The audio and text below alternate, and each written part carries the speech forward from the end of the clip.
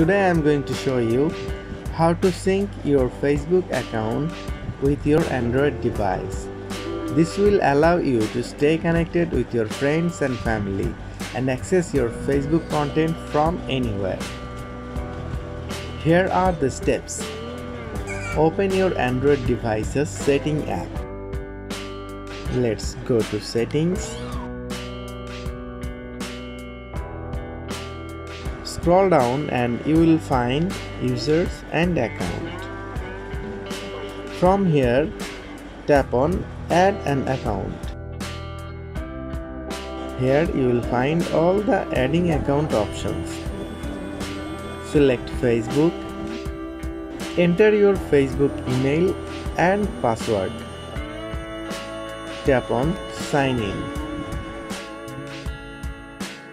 Tap allow to grant Facebook permission to access your device's data.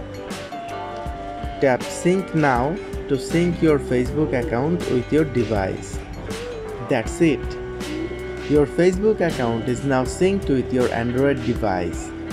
You can now access to your Facebook content from your device such as your newsfeed, message, events. Here are some additional tips for syncing your Facebook account with your Android device. You can choose to sync your contact, calendar and events with Facebook.